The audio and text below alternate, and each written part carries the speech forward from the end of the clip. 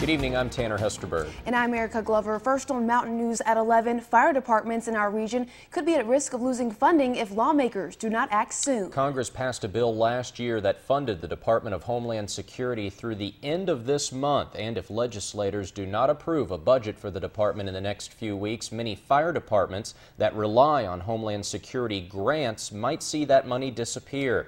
I talked to two fire officials in eastern Kentucky about what this could mean for their departments real fortunate to have what we got.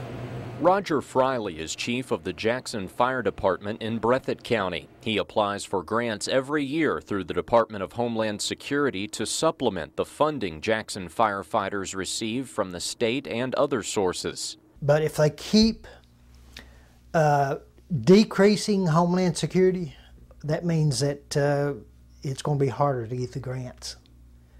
And uh, that's really going to hurt the departments.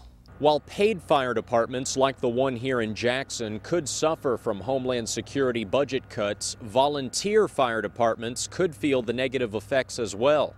Steve Argonis, the assistant chief at Lost Creek Volunteer Fire Department in Perry County, says his department has received Homeland Security grants in the past to help pay for a new fire truck, equipment, and training materials. But without uh, a certain minimum amounts of funding, we use older equipment uh, it's not as safe for us. It's not as effective for uh, uh, for the people that we protect, and uh, we, can't take advantage of a lot of, of, of a lot of the technology that uh, that we have available. Argonis also says decreased funding for firefighters could lead to an increase in homeowners insurance premiums as fire officials wait to see if Congress will act in time to preserve some of the resources they depend on. Now, lawmakers are debating bills that would fund the Department of Homeland Security until the end of the fiscal year, but so far have not passed anything.